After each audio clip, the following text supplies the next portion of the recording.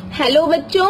आज हम लोग पढ़ेंगे हिंदी की एक नई कविता, स्वरों की कविता। आओ शुरू करें पहला अक्षर आ से। एक लाल फल खाया आज, सिर पर उसके लगे हैं ताज। दानों को चबाया बार बार सब कहते उसको, अनार।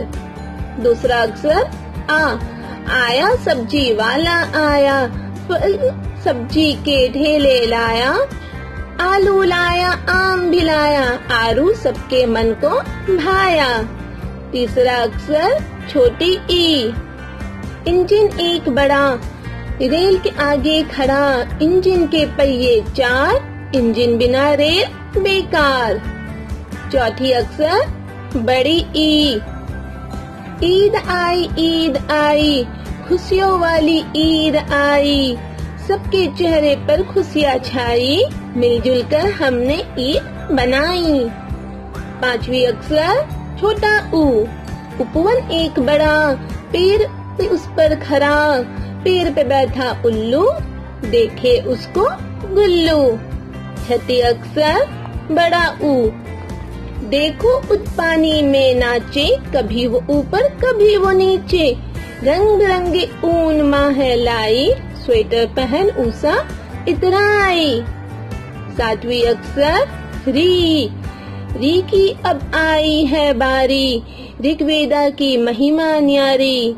ऋषि देते हमें उपदेश, सदा ही मानो उनका संदेश। आठवीं अक्षर है ए।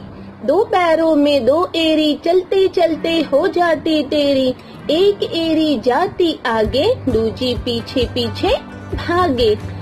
नवी अक्षर है ए एक थी ऐनक बड़ी, मेज पर थी पड़ी। गोल गोल दो आँखें उसकी, नाक पर रहती सदा चढ़ी दसवीं अक्षर है ओ, सर्दी आई सर्दी आई, हरी घास पर ओस लाई। ठंडी ठंडी बूंदे छोटी, मोटी जैसे घास पर छाई। ग्यारहवीं अक्षर है ओ लगा है बारह बाज़ार उसमें होता है व्यापार। बिकते हैं बहुत से औज़ार, मिलते हैं औषधि और आचार। और हमारी आखिरी अक्षर है बारहवीं और तेरहवीं अंक और आह अंक से अंगूर आह से खाली, चिड़िया उड़ती डाली डाली थैंक यू